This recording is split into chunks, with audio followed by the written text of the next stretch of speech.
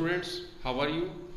Students, uh, in the last video we learned few features related to migration. Now we will learn different streams of migration and causes of migration. So let's start. First one is streams of migration.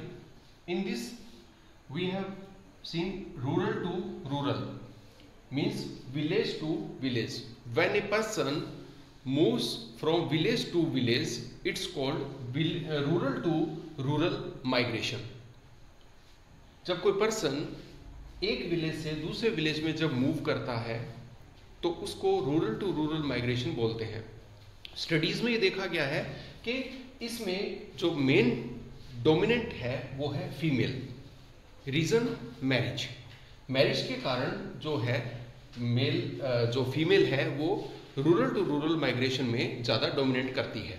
Second one is rural to urban migration rural to urban migration means when a person moves from village to city जब कोई person जब कोई mail या कोई भी person जब rural से urban area में मूव करता है तो उसको रूरल टू अर्बन माइग्रेशन बोलते हैं। इसमें स्टडीज़ में ये देखा है कि इसमें मेल डोमिनेंट ज़्यादा होता है। मेल का परसेंटेज ज़्यादा है। रीज़न क्या है? इकोनॉमिकल एक्टिविटी जब मेल क्योंकि रूरल एरिया में इतना बेटर अपॉर्चुनिटी उसको नहीं मिलता है करियर के पॉइंट ऑफ़ व्यू से या अर्निंग के पॉइंट ऑफ़ व्यू से सो so, आपने भी देखा होगा कि बहुत सारे पर्सन हैं जो रूरल एरिया से अर्बन एरिया में मूव करते हैं जॉब के लिए। Next one is urban to urban when a person moves from city to another city it's called urban to urban area and next one is urban to rural area when a person moves from city to village it's called urban to rural migration so these are the forms for streams related to migration next one is what is the causes of migration migration हमने देखा migration क्या है कैसे है but ये नहीं देख let us see what are the causes of migration अब तक हमने देखा माइग्रेशन क्या है माइग्रेशन के स्ट्रीम्स क्या है। अब देखते हैं क्या क्या कॉजेज हैं जिनसे लोग माइग्रेशन होता है। सो so, बेसिकली इसमें दो फैक्टर वर्क करते हैं। First one is push factor as second one is pull factor push factor का मतलब क्या है कि कोई ऐसा फैक्टर जो किसी पर्सन को कोई विलेज या कोई एरिया छोड़ने के लिए पुश कर रहा है। उसको ऐसे कंडीशंस बन गए उस एरिया में। वो कंडीशंस उसको पुश कर रही हैं कि वो उस एरिया को छोड़े।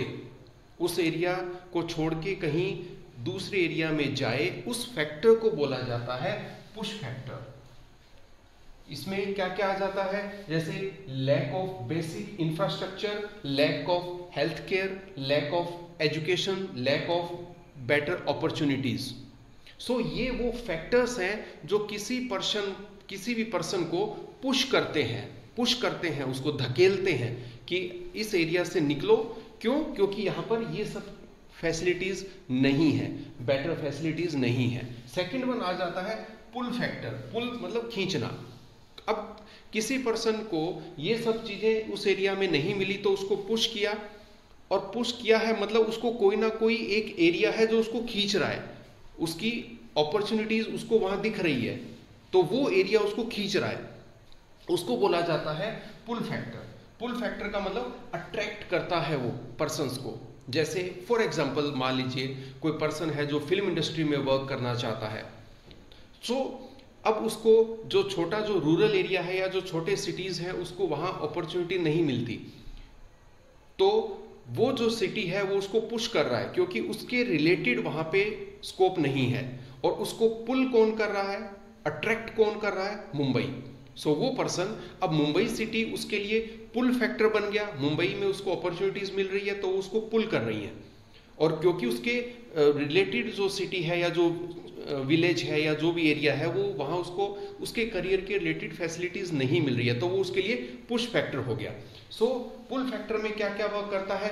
Better life better job better education better health care better business opportunities next disaster के कारण बनते हैं। जैसे for example flood drought cyclone earthquake tsunami etcetera for example मान लीजिए कोई एक एरिया है जहाँ पे फ्लड हो गया। फ्लड हो गया तो अब उस पर्सन का शेल्टर भी चला गया, उसको फ़ूड फैसिलिटीज़ भी नहीं मिलेंगी। जॉब्स तो उसकी नेचुरल सी बात है चली गई।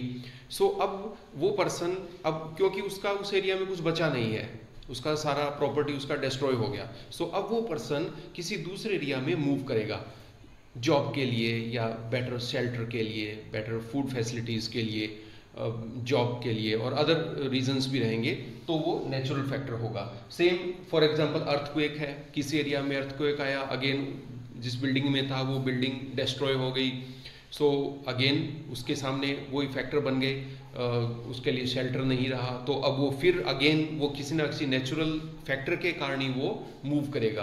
तो ये कुछ एक नेचुरल फैक्टर है जो किसी पर्सन के माइग्रेट होने में अपना रोल प्ले करते हैं जिसमें नेचुरल डिजास्टर या नेचुरल फैक्टर भी हम कह सकते हैं। सो नेक्स्ट वीडियो में रेस्ट पार्ट देखेंगे। Thank you